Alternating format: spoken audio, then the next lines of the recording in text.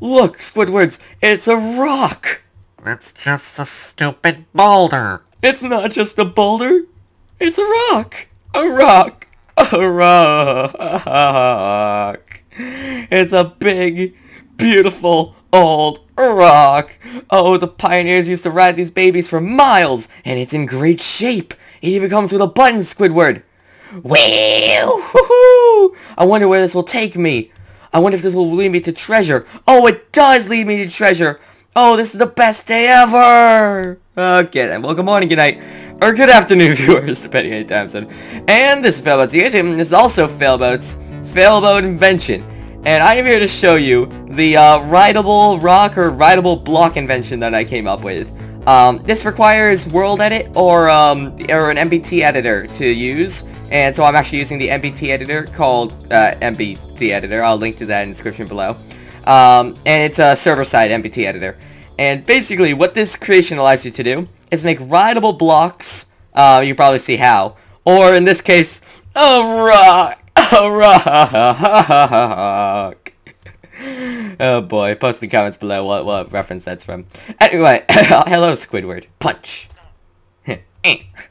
anyway, so, with this invention, you can just make little, uh, purely aesthetic, uh, rideable blocks. And as you can see, uh, the one thing it requires is minecart tracks. And I'll show you how to make this. Again, NBT editing. So what you want to do is you want to, well, let me just show you basically what it is. First of all, if you couldn't imagine, it is a minecart with uh, with a block display that's set to a certain offset, and it and like riding this minecart is an invisible. I'm sorry, I think it's a um. Let me just just make sure. Yeah, okay, that's right. It's an invisible squid, and then an invisible pig that has a saddle on it. Okay, so let me go over why this all works. So first of all, the minecart is the is the basing. That's why it can be controlled with the uh, minecart rails.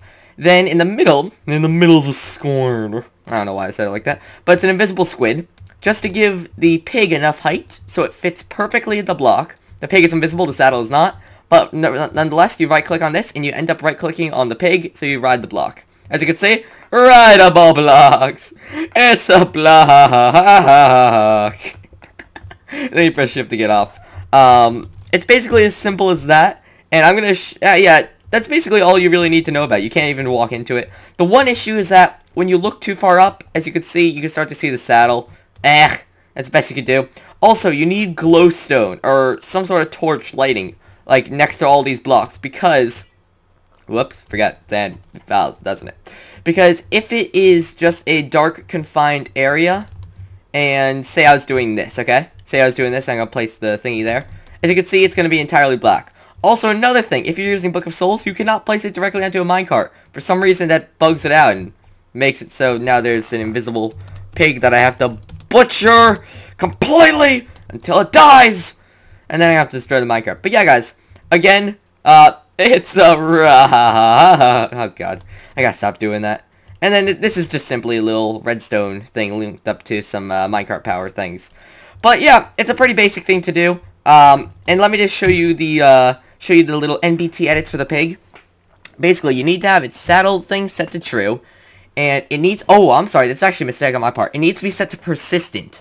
That way, um, no matter... Like, it won't uh, despawn.